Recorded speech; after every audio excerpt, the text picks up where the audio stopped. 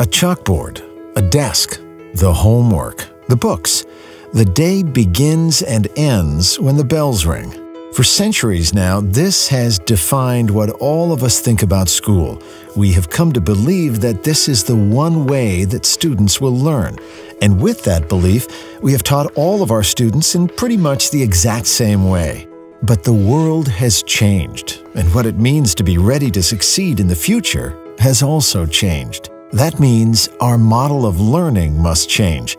It's happening now, and it needs to happen even more. In more places, for all students, especially for those for whom the current system isn't working. There is strong data that shows we need to rethink learning. Like remodeling a house, we're not just adding a new coat of paint, we're updating the outdated parts and making it more modern and efficient, strengthening what works and fixing what doesn't. Gone are the days when some students can excel and others just get by. Our society needs all kids to excel at high levels. And to make this happen, we need to engage our students like never before. This is student-centered learning.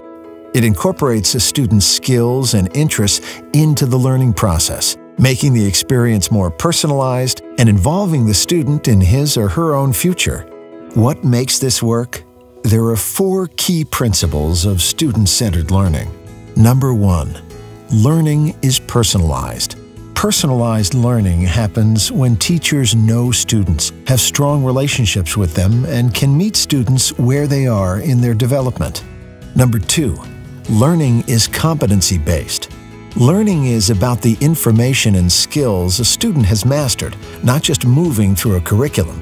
In a competency-based system, students can proceed at their own pace in every subject, enabling teachers to respond to individual needs, interests, and challenges. Number three, learning happens anytime, anywhere.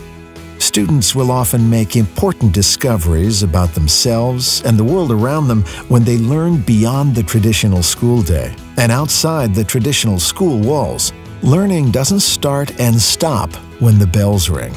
And number four, the last key to student-centered learning is students take ownership. Don't make a decision about students without students. They play a direct role in their own success actively engaging with the process to ensure the impact is lasting and meaningful.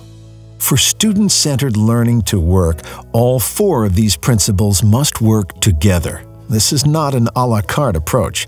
It's reimagining education so it works for all students. The fact is, our world is changing. And with the latest in child development research, we know better than ever before how children and young adults learn. Facts are there, and they point to the need for a new system of learning designed around each student. And when this student becomes stronger and more focused, all of us will benefit from a new generation that is contributing to our communities and our world in so many ways. This is student-centered learning.